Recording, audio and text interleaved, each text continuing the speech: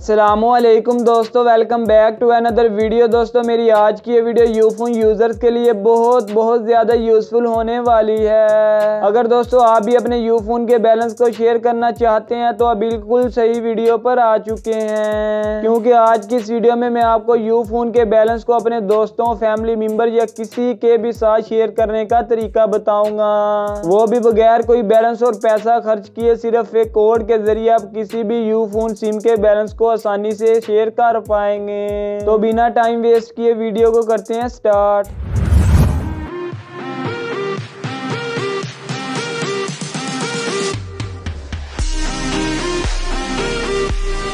हाँ तो दोस्तों, अगर आप भी अपने यू फ़ोन के बैलेंस को अपने दोस्तों या फैमिली मेंबर के साथ शेयर करना चाहते हैं तो इस वीडियो को लास्ट तक लाजमी देखें। तो यू फ़ोन के बैलेंस को शेयर करने के लिए आप लोगों ने सबसे पहले अपने मोबाइल के डायल पैड को ओपन करना है। ओपन करने के बाद, दोस्तों, आपने जो कोड या तरीकाकार इख्तियार करना है, वो नोट कर लें। तो इसके लिए, दोस्तों, आप लोगों ने सबसे पहले स्टार आठ सौ अट्ठाईस इसके बाद दोस्तों आपने फिर स्टार प्रेस करना है।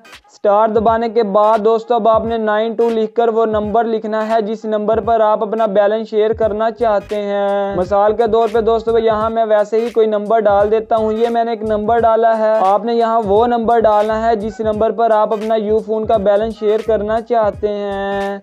नंबर डालने के बाद दोस्तों आपने फिर से स्टार प्रेस करना है।